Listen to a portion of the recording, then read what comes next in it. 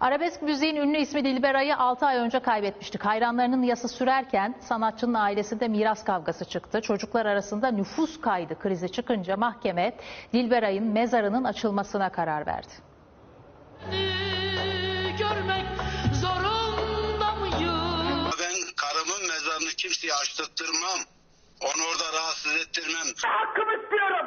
Annemin de yaşatmadım. Yani bu miras bana kaldıysa ben onların hakkını vermez miyim? Çok üzüntülüyüm, çok üzüntülüyüm, çok üzüntülüyüm. Rahmetli eşimin kemiklerini sızlattı bunlar. Arabesk müziğin ünlü ismi Dilberay'ın ölümünün üzerinden 6 ay geçti. Miras davası eşini ve çocuklarını birbirine düşürdü. Mahkeme ünlü sanatçının mezarının açılmasına karar verdi. Veraset ilanında Dilber'in kızları çıkmıyor, görünmüyor. Sadece oğlu görünüyor. Dilberay 29 Nisan 2019 tarihinde kalp krizi geçirerek vefat etmişti. Sevenleri yasa boğuldu. Ancak ölümünün üzerinden aylar sonra bu kez miras davasıyla gündeme geldi. Kızları Filiz ve Satı nüfuslarının annelerinin üzerinde olmadığı gerekçesiyle mirastan faydalanamadıklarını iddia ettiler ve bu sebeple de mahkemeye başvurdular. Tavukları pişirmişim, acıyı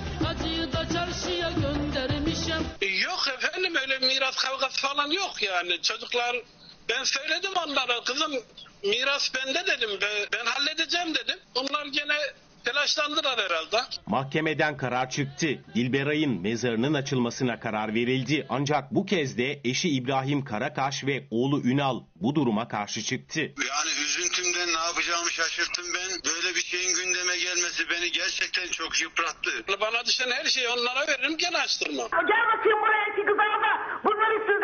me out. Kimsenin parasını yemedim.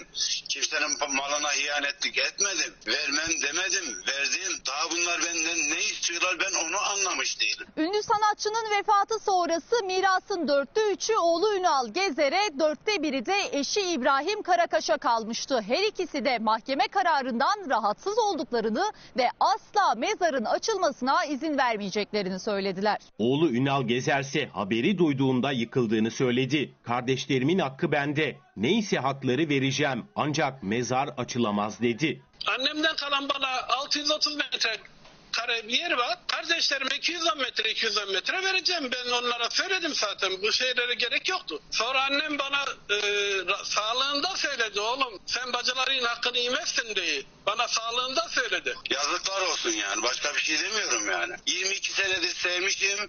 Onun her şeyi olmuşum. Yine olacağım. Hep seni